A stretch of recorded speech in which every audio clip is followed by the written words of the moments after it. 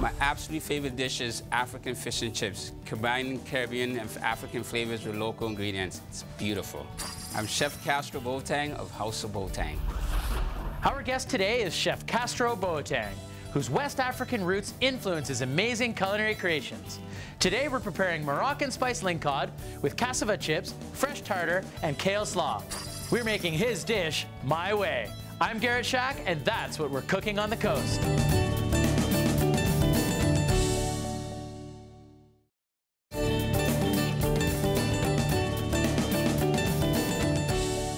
Today we're sharing the kitchen with special guest chef Castro Boateng. Akwaba. Akwaba.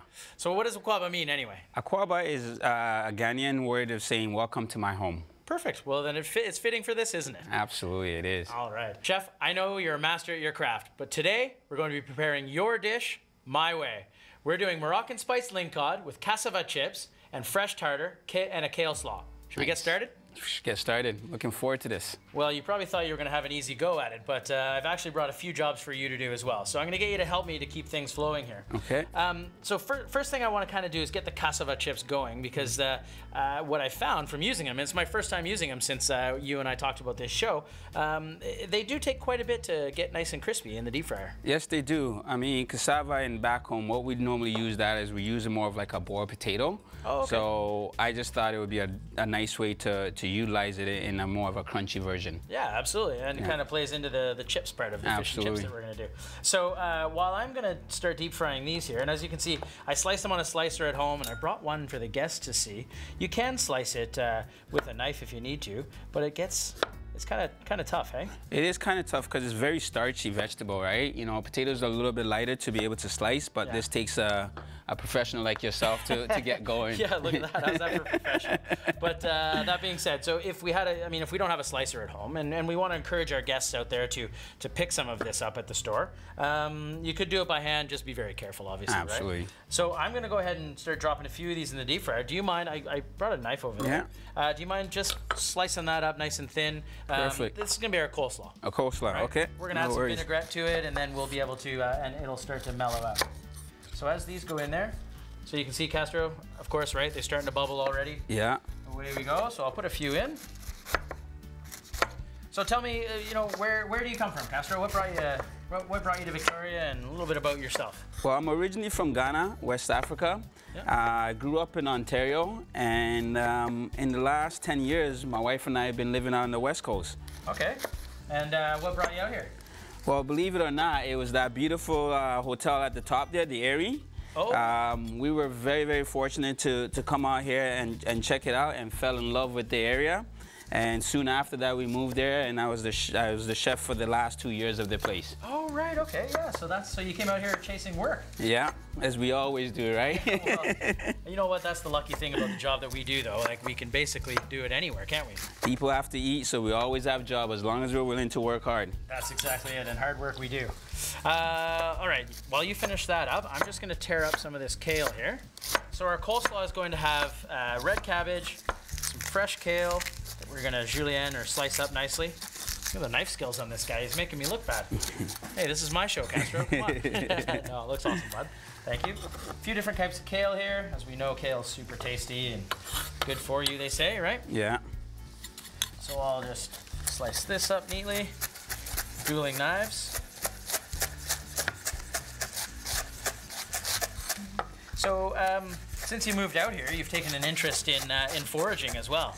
You know, when I when I first got here, uh, I met these young boys uh, or young men that was living here, and they taught me all about about eating outside. And you know, before that, as a chef, all I used to do is pick up the phone and, and dial and call call my suppliers. Where these these young men taught me how to go outside and forage for food and, and, and find interesting things that I've never ever worked with before. So I've been very, very blessed to be working with them. Well, yeah, it's pretty special that we can go out, uh, you know, into the into the forest a little bit and find amazing foods that, that you know, that, that taste great. Absolutely. Uh, but I should say it's important, like, to know what you're picking and stuff like that, right? Like, uh, it's not just not like I wouldn't just go out and, oh, this is green, let's eat it, right? Yeah, yeah. And, and you know, anything with foraging food, right, you want to get used to it. You want to take your time, learn first and then take a little bit by little. Um, you can't go straight from eating all everything from the store to all of a sudden becoming um, a, a forager and eating anything from outside. So you got to get used to it. Once you get used to it, you could definitely adapt to the flavors a little bit more. Yeah, right. That, ma- that makes absolute sense.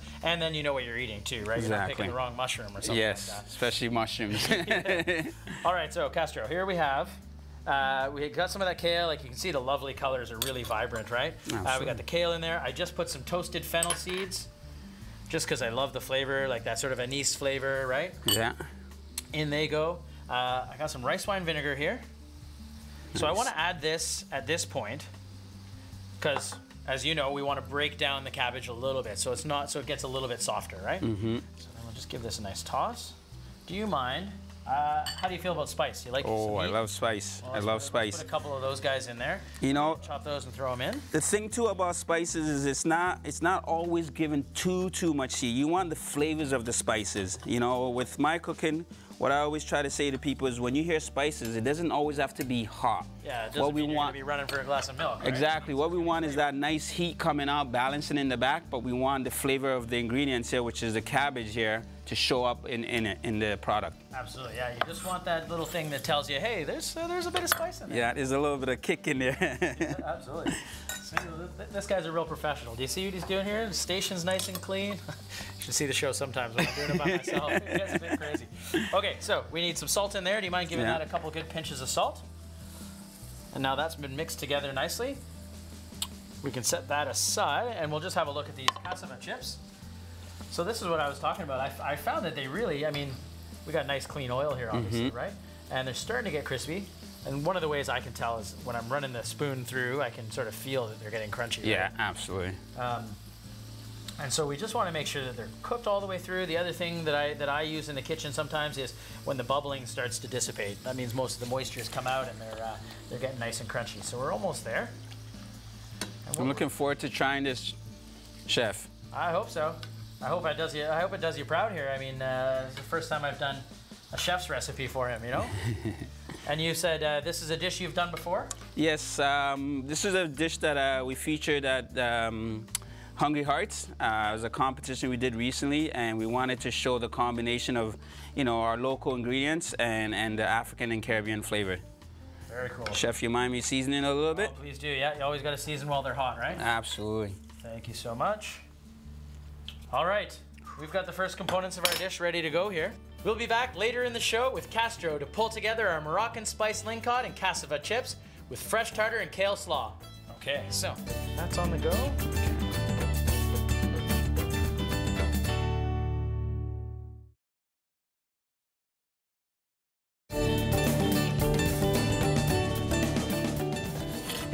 To our kitchen. We're working with Chef Castro on my version of his favorite dish Moroccan spiced lingcod with cassava chips and fresh tartar and a kale slaw. All right, I see you're hard at work, hey? Yeah, I'm just I've been over here taking a break. uh, so Castro is going to start working on our uh, on our tartar sauce here, because as a true chef, he doesn't like just standing still and watching somebody else do the work. So uh, we're going to to do a nice brunoise, which he's doing here of our of our shallot, uh, and we've just got some mayonnaise here. You know, you can use your regular old generic mayonnaise, uh, and just add most of these ingredients together. So we've got some uh, preserved lemon there, capers. Yeah, hey, made it tough Yeah. for you. Capers, coriander, which we're going to crush down a little bit, and then we'll just season that up nicely. Finish it with some fresh parsley, and away we go. There you go. Alrighty, so while Castro's doing some chopping, I'm just gonna get our batter together for our fish and chips. Uh, a little bit of flour, and then over here I've got tempura flour. So the in the temp, do you make tempura flour at the restaurant? Uh, we do sometimes. Um, a lot of times we just like to do a, like a nice spat, uh, spice batter. Okay, yeah. And we just use our soda water and some spices. Yeah. Um, and make it with that. And would you put the spices in the batter or in the in the dredging flour? And uh, we'll put it in the batter and the dredging because we always believe Both. you just do a little bit by little, right? Yeah. Once you have the flavors in there, it all finish off nicely in the end. All right, well that makes sense. I'm going to go ahead and put it all in the in the dredging flour here, because what I kind of want to do, Castro, what I, my plan here, I guess, was to um, was to make the the fish still white, so you didn't really see the uh, the, the sort of African or Yeah. the Moroccan type flavors. Um, but then when you take that bite, you go, oh wow, like a punch of flavor there. So I just added um, some allspice, some cumin, some fresh or some ground coriander, uh, some cayenne pepper for a little bit of heat, and uh, th- oh, it's a touch of cinnamon, right? So we got some sweet and spicy flavors in there. Nice. Should be really yummy. Doing a great job there, pal. Appreciate that. Now, making our tempura batter, really important that we use fresh soda water. And we just want to whisk it together. Cold, and then the bubbles help to make a really nice, crispy, light batter.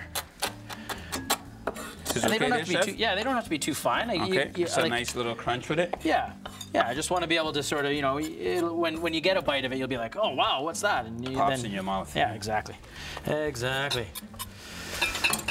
So Castro, House of Boateng Catering, and a cafe as well. Yes. You've got a lot yes. going on, bud. You know, we we um, we've always wanted to to have a business where we could we're not bored, and with Yeah. the catering, we're allowed to be able to do private dinners, private functions. Um, even in our space now, we can do a lot of events there. Okay. And then the cafe, it gives a chance uh, for us to be very very creative and, and get people to come in our home. Um, we've been Very spending nice. a lot of time going to other places. We love people coming also into our home. Yeah. So that's where the cafe comes in part. Oh, I love it. That sounds great. Well, you're so personable, and I mean, you have a lovely family, and you know how do you, how you find that balance in the in the work family life can be challenging, can't it?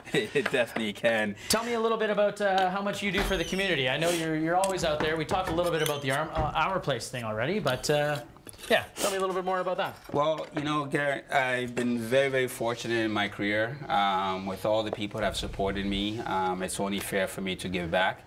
And for us, if, if there's a, a charity event that we can get involved in and we see the, the end product where it's helping people, we're always happy to be a part of it. And it, it's really satisfying. Yeah. You know, what it comes down to is really satisfying knowing that somebody gave gave their time for me and now I get to do the same for someone else. It's, it's such a good feeling, isn't it? And and for us, it's so easy to do. And not only do we get the end game side of things, but we also get to see the uh, uh, we get to see the people's faces as they show up at our table and they go, "Oh wow, that dish was amazing!" Like you know, uh, that's what I love about it. The instant gratification, I suppose. Yes, yes. All right, so tempura batter made.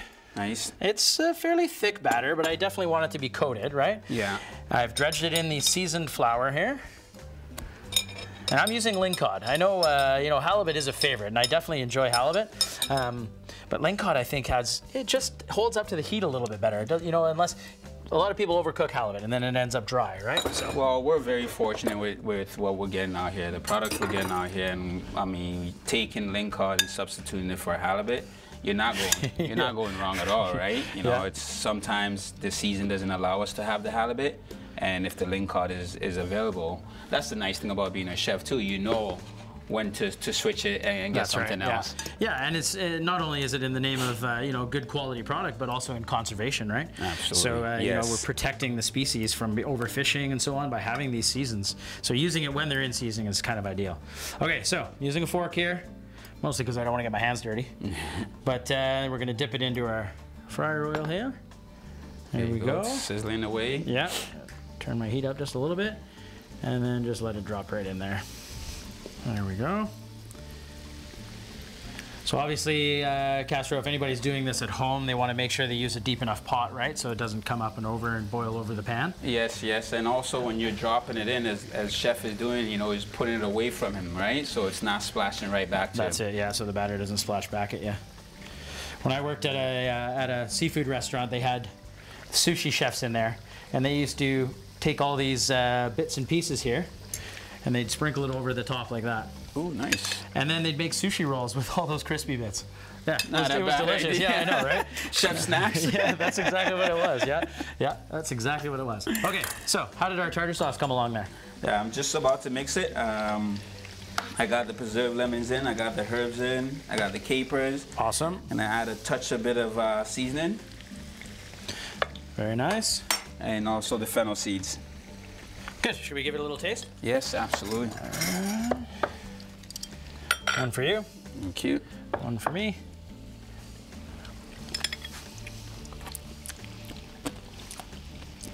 See the coriander, mm -hmm. although it gives it a bit of a crunch, so it's like not that really smooth tartar sauce, mm -hmm. but it does give it a little, hmm, That's interesting. What's Yeah. that? Like that floral note of coriander, right? Yeah, and that's what's nice about food. You want people to have that.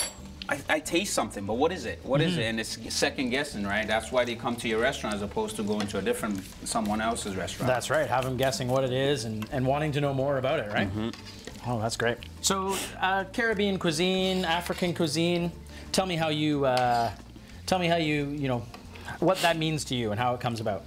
Well, you know, as a, as a young man, the one thing I remember is how long it took for my, my, my parents to make dinner. And it was always, I always used to be thinking, well, why are you starting so early? And it was to get it, to get it to flavor. You know, my mom would get up early in the morning, make her marinade and flavor it for a very long time. And what that does is it's, you take a, a, an inexpensive cut of meat and you marinate it and it breaks it down and you get this beautiful meat. You know, I tell my mom I cook tenderloin, she's like, why? Why would you ever be using that? Why would you be using tenderloin, right? So we um, we do a lot of a lot of food where it's been marinated with flavors, and people always first think it's spices. Spices not really what we're going for. We want a lot of spices, but we don't want heat. Right. So we take coriander, we take cinnamon, we take nutmeg. Believe it or not. Vanilla is a spice in my mind. You Oh, know, right, it's yeah, a yeah. sweet, sweet spice there, but you can use that in, in any kind of application. Yeah, not just for dessert, right? Not you could definitely use that in some uh, in some savory applications. Oh, I, I love uh, I love vanilla with um, uh, vanilla curry and, and a fish. That's that's me. Oh, delicious. I love stuff yeah, yeah. like that. That does sound good. All right, Castro. So our fish is really coming along. A few more, well, maybe about 30 more seconds, and I'll take it out and put it on a little blotting cloth there. Um, you know, I'm, I'm really curious. You, you said you came from West Africa, from Ghana. Uh, what kind of foods did you eat growing up? Uh, we ate lots of um, lots of stews, uh, lots of food that's been marinated for a very very long time, and that's kind of the base of our cooking right now. We want to marinate something, Yeah. and then um, allow the flavors to penetrate.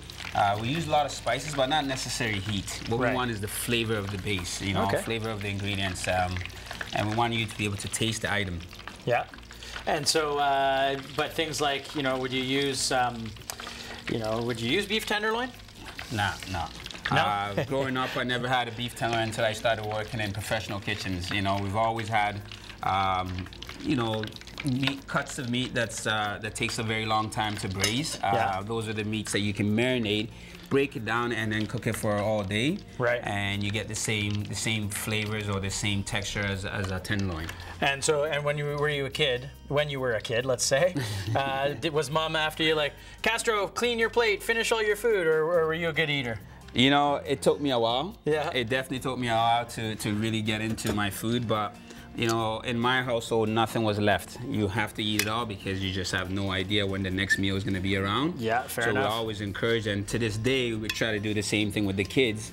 You know, constantly encourage them to have everything, finish everything before they move to the next. Yeah, and, and to try everything, right? That's it at my house. Uh, you, may, you may not like it this time, but you're gonna try it anyway. So. Yeah. All right, so our slaw uh, has had a chance to sit. Nice, it's looking beautiful. Mmm, have a little taste. Really looking forward to trying this. Chefs always eating with their hands, right? it's true, yeah. It's true. All right, so for presentation, now this probably won't look quite the same as uh, when you're doing it for your competitions or stuff like that. But by the way, Castro's beat me in several competitions uh, over the years here. But he's a good guy, so I don't mind losing to him. Uh, okay, so we got a bit of the coleslaw down in the middle there. Uh, let's grab a spoon here as we compose this and put some of the tartar sauce. Let's just kind of go around the plate like this. nice, nice. Very, uh, very avant-garde, hey? Mm-hmm. Haute cuisine. Nice piece of the fish. Looking so crispy. It does look crispy. Hey, you can, Yeah. can you hear? And that's that's that's fish and chips. You- Exactly. it's just as much about the crunch, isn't it? Absolutely. And then we've got these awesome cassava chips that I'm so glad you introduced me to. And you think I could get them to stand up on there, though? There we go. There you go. We need the long tweezers, eh, chef? This is funny because you see this all the time. I know, right? and there you have it. Moroccan spiced ling cod with cassava chips, fresh kale, kale slaw, and that lovely tartar sauce all the way around there. Should we give it a try? Absolutely. All Let's right. get in here. Yeah, let's give it a whirl. Oh, good on you. Get into that. Look at that, that crunch. I know, that's what you're looking for. That's what you. Very nice. Get some of the tartar sauce. Thanks, by the way, for building that. I really appreciate your help. Oh, you're welcome. Hmm.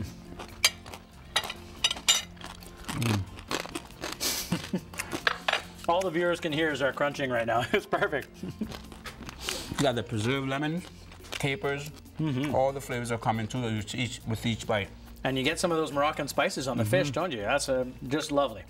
Thanks so much, Castro. I really appreciate you being here. I'm gonna order this the next time I come see you. I'll come, I'll come, I'll come see you. I hope it's on the menu. I want to try your version. Absolutely. Now,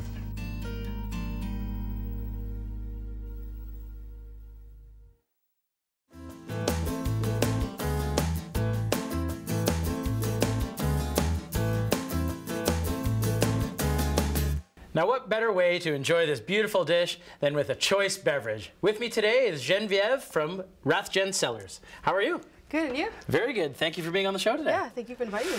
Well, I'm really excited. I understand this is a new uh, winery here on Vancouver Island, and I'm excited to try it. So, what have you brought for us today? I brought uh, Rathjen Cellars. This is our wine bunker series, so it's our entry-level wines. We Okay. made it to be really food-friendly, so both the white and the red. Uh, the white will obviously accompany very easily fish and seafood and poultry. Okay. But since you did a meal today with a lot of spices, like Asian spice, Moroccan spices, Indian flavors as well, it Yeah. go really well with this kind of white wine. Nice. So, it sounds pretty well rounded.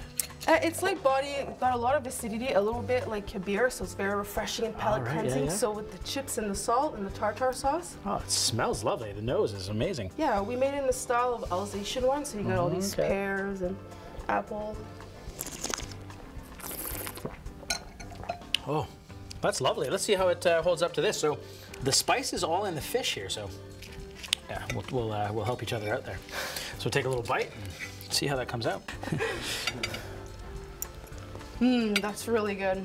Yeah, it matches well with the wine. I think you made a great choice here. Yeah, the white wine with the fish is really good. Really nice, and it holds up to the Moroccan spices. Great job. Absolutely. Thank you.